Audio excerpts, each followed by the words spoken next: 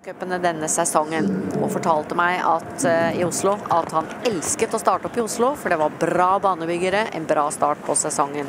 Så en honnør til Anders Hafskjold, Terje Olsen Nallum for det, og ikke minst Oslo Horshow.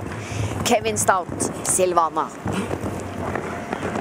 Edvina har den kjappeste tiden, hun som var inne nå, på mellomtiden 12,4 sekunder.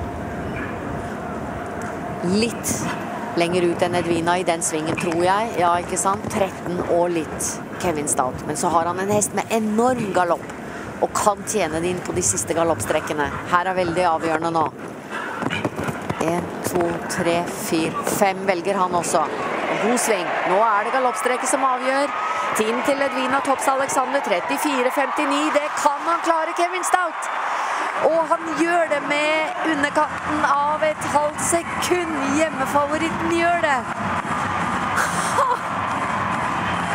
Ha, briljant av Kevin Stout. Åh, herlig. Og litt rørende historie som jeg må fortelle dere. Denne hesten her, Silvana, Silvana hadde en sponsor, altså eier, som var klar for å selge hesten ut av landet før OL. Og